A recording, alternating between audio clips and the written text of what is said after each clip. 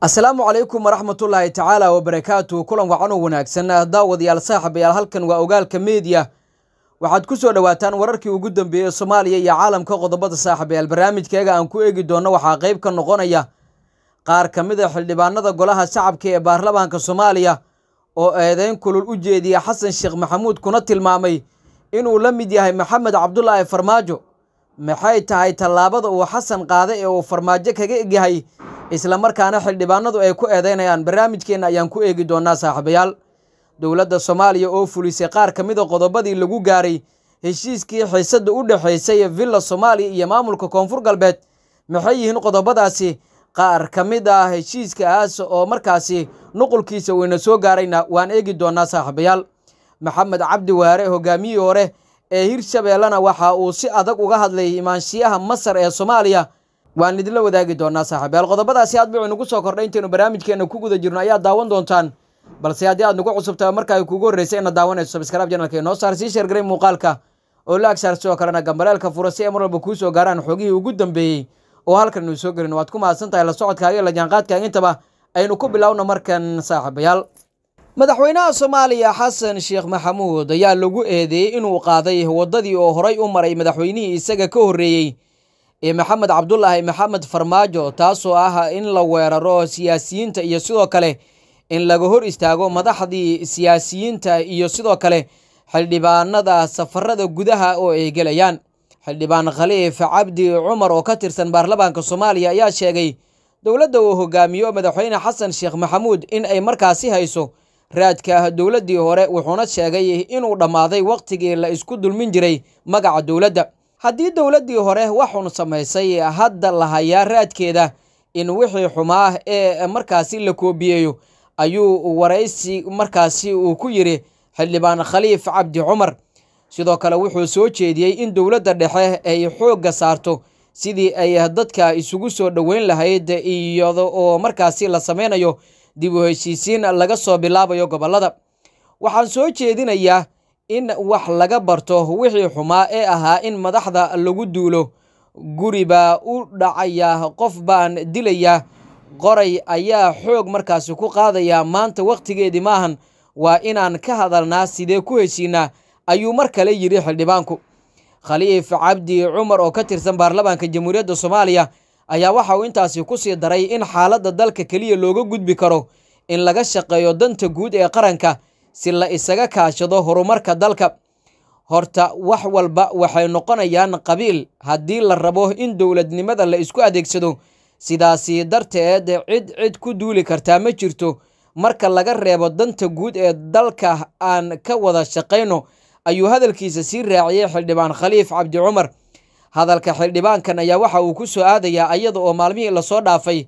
Dowladda dhexe ee xayiraad saartay xildhibaano ka soo jeeda koonfur galbeed oo ku jeeday magaalada baydhabo ee xarunta gobolka baay sababo la xiriira khilaafka u dhexeeya villa soomaaliya iyo sidoo kale maamulka markaasi oo hogaamiyo cabdicasiis xasan maxamed laftigareen ee koonfur galbeed.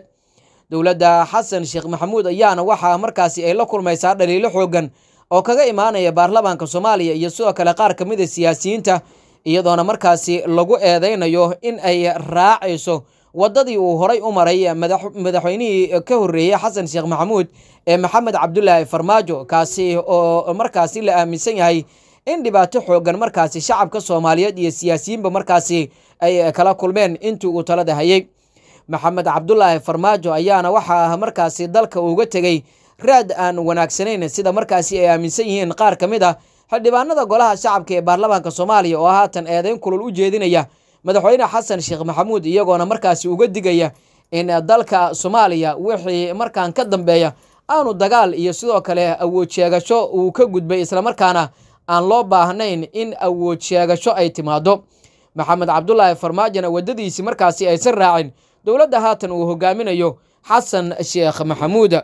Dhinaca kalena dowladda federaalk soomaaliya ayaa waxa ay qaaday xayiraad dhanka socdaalka ah oo ay horay ugu soo rogtay xildhibaanada ka soo jeeda deegaanada koonfur galbeed soomaaliya kuwaasoo horey qaarkood loogu celiyay garoonka aadan cadde ee muqdisho. Xayiraadda laga qaaday kadib ayaa waxaa suuro gashay in xildhibaano ka tirsan baarlamaanka ay gaaraan magaalada baydhaba iyadoo arrintan ay qayb ka tahay fulinta heshiiska ay gaareen maamulka laftigaran iyo villa soomaaliya. Xildhibaanada tegey baydhabo waxaa ka mid ahayd sareedo maxamed cabdulle oo maalin ka hor lagu celiyey muqdisho iyada oo laga reebay diyaarad ku socotay magaalada baydhabo ee xarunta gobolka baay. Sareedo iyo wafdi ay hogaaminayso ayaa si diiran loogu soo dhoweeyey garoonka shaati guduud ee baydhabo iyada oo kadib loo gelbiyey madaxtooyada oo ay kula kulmi doonto madaxda sare ee maamulka koonfur galbeed oo ugu horeeyo cabdicasiis laftigareen. Arrintan waxa ay ku soo aadaysaa iyada oo haatan ay yaro qabowday xiisadii u dhexaysay dowladda dhexe iyo koonfur galbeed kadib dadaallo dheeraad ah iyo sidoo kale dhexdhexaadin la sameeyey si la isugu soo dhoweeyo lafdigareen iyo villa soomaaliya oo kala fogaaday. Labada dhinac ayaa isku afgartay dhowr qodob oo hordhac u noqonaya heshiis lagu soo afjarayo xiisadda madaxweyne xasan sheekh maxamuud iyo hogaamiyaha koonfur galbeed laftigareen waxaana dadaaladaas hormuud u noqday taliyaha ciidanka asluubta soomaaliya mahad cabdiraxmaan aadan oo taliya shub ku magac dheer. Waxaa sidoo kale heshiiskaas qayb ka ahaa in duulimaadyada iyo isu socodka koonfur galbeed gudaheeda iyo magaalada muqdisho sidoodii caadiga ahaa ay ahaadaan oo aan marnaba la carqaladayn taas oo maanta si toosa u dhaqan gashay. Si kastaba ha ahaatee madaxweyne xasan sheekh maxamuud oo hadda ka cararaya inuu ku furmo albaabka doorasho dadban ayaa dadaal badan ku bixinaya.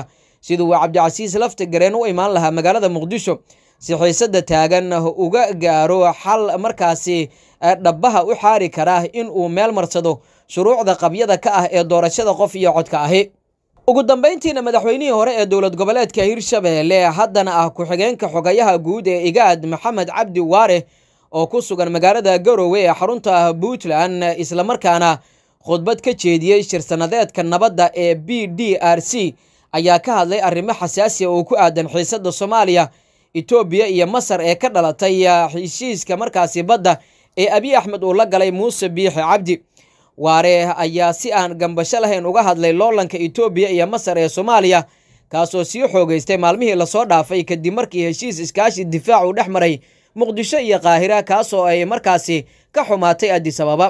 Ku-xigeenka xogayaha guud ee igaada ayaa sheegay in labada dal ee etoobiya iyo masar aanay wax dan ah markaasi u ahaynin soomaaliya waxaana uu si weyn uga hor yimid in xilligan masar lagu soo dhoweeyo magaalada muqdisho isaga oo su'aal ka keenay halkii ay jirtay soddonkii sannadood ee ay burburka la daalaadhacaysay soomaaliya.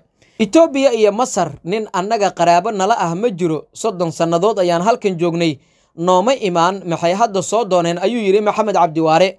Sidoo kale wuxuu sii raaciyey qiil ayaan u raadinaynaa masar annagoo leh islaam waaye haddii ay islaam tahay soddonkii sannadood ee la soo dhaafay xaggee jireen maxamed cabdi waare ayaa sidoo kale intaasi waxa uu ku daray in etoobiya iyo masar oo xuduud ahaan aad noogu dhow aanay garab qaban soomaaliya taas beddelkeedana ay jiraan waddamo kale oo ka dhowo isaga oo tusaale u soo qaatay dalalka turkiga iyo yemen.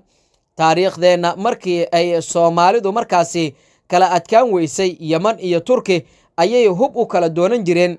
Hadda miyaan markaasi kala doonanaynaa kuwa etoobiya la jira iyo sidoo kale kuwa masar la jira ayuu sii raaciyey.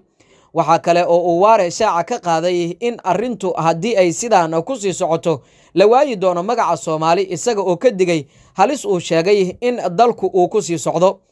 Sida aan hadda ku soconno haddaan ku sii soconno labaatan kilomitir oo bad ah ayaan hadda markaasi la yaabanahay dad soomaali la yidhaahdo ayaa halkan markaasi deganaa jiray ayaa la dhihi doonaa ayuu mar kale yidhi madaxweynihii hore ee dowlad goboleedka soomaaliyeed ee hirshabeelle maxamed cabdi waare oo ka hadlayay heshiiska soomaaliya iyo masar ee arrimaha difaaca. Arrintan ayaana waxa ay ku soo aadaysaa iyadoo etoobiya iyo soomaaliya uu dhex yaallo markaasi dagaal siyaasadeed oo aad u culus kadib markii dowladda abiy axmed markaasi ay heshiis la saxiixatay. Hogaamiyaha dowlad goboleedka somalilan muuse biiha cabdi kaasi oo labaatan kilomitir oo ka mid a badda soomaaliya markaasi siinaya. Guud ahaana daawadayaal warkii aad kala socoteen janalka ogaalka media waa naga intaa. Haddii aad nagu cusub tahay oo marka ay kugu horreysay inaad daawatay sabscribe janalka inoo saar sii shargalay muuqaalka oo laag saar sidoo kalena gambaleelka fura si ay mar walba kuu soo gaaraan. Xogihii ugu dambeeye oo halkan inu soo gelin waad ku mahadsan tahay la socodkaaga iyo la jaanqaadkaaga. Intaba inta aan warkan kiisa kale aynu ku kulmi doonno saaxiibayaal. Nabadgelyo